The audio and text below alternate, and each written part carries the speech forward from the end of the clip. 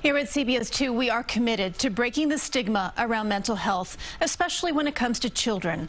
And many young people can be attached to their phones. Now, one in six Gen Zers say that they use TikTok every day and increasingly as a search engine looking for advice. National consumer correspondent Ash-har Quraishi exposes the potential dangers and shows us the unlikely social media star who is trying to set them straight. Social media therapy. It's trending. On TikTok, the hashtag mental health has been searched more than 67 billion times. If you've got ADHD, autism, or you have ADHD, let's talk about suicide awareness. This time has been super difficult for all of us. The search became a serious problem for Samantha Fridley. Originally, it was more, I was just looking for like mental health advocacy. It turned into diagnosis. As a high schooler who was already seeing a therapist for anxiety and depression, Fridley watched countless videos of influencers sharing thoughts on mental health conditions and says TikTok flooded her feed with hundreds more. It made it a lot worse. My anxiety was constantly like, well, if I have this, then like, what if I have this? People are going to look at me like I'm crazy. Soon she started to believe she was bipolar, had borderline personality disorder, and ADHD. According to one analysis of popular TikTok videos about ADHD, 52% were deemed misleading. It just got to a point where I was losing sleep because of it. I would be up until like 3 a.m. on TikTok, just like researching. And you were self-diagnosing? Mm -hmm. Were you diagnosed with any of these? Never. The videos in her For You feed were picked for her by TikTok's unique algorithm based on what she had searched, shared, and liked. In a recent study, researchers posed as 13 year old users. Searching and liking mental health videos, they say TikTok pushed potentially harmful content on average every 39 seconds. Within 2.6 minutes of joining the app, some of the teens were shown content about suicide. And this one, see, this one got only 39,000. Enter Dr. Inna Kanevsky. She may not look like your typical influencer, but this professor at San Diego Mesa College has become TikTok famous with more than a million followers. She's done it by debunking mental health misinformation, one video at a time. I saw a TikTok that said if you talk to yourself, you're showing signs of mental illness. If you've been talking to yourself, that is actually a trauma response. Can we not?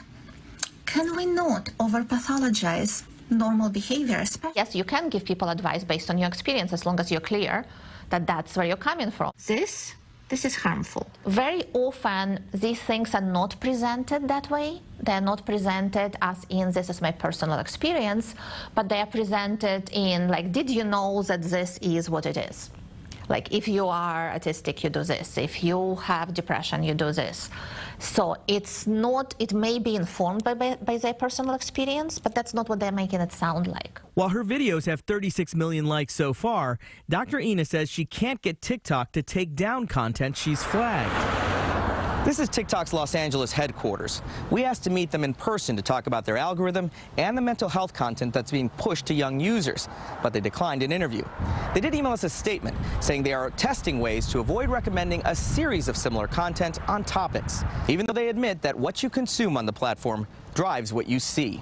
They also wrote, quote, we strongly encourage individuals to seek professional medical advice if they are in need of support and that they would remove misinformation that causes harm, regardless of intent. These platforms are created as businesses to make money. Robin Stevens spent years studying and critiquing social media platforms. Now she's advising Instagram. Do the platforms need to do more to curate this? Absolutely. She's part of a group of experts now training influencers to create responsible mental health content. Too many people can be impacted by one person's opinions or actions for it to be completely unchecked. Samantha had to check out and detox from social media. She spent 56 days in residential rehab. No phone or oh. TikTok allowed. Do you still use it? Yeah. Yeah. But differently? Yeah. How do you use it now? I don't use it for information anymore or, you know, finding a diagnosis or finding like an illness. Like I use it for, you know, kind of like a form of like comedy. like there's funny videos on there, so. Social media platforms, including TikTok and Instagram, are now the target of a federal lawsuit. Lawyers representing young people in New York and elsewhere in the country claim the platform's algorithms have caused dangerous behavior, including eating disorders and even suicide. Facebook, YouTube, and Snap are also named in the suit. I'm Ash-har Quraishi, CBS 2 News.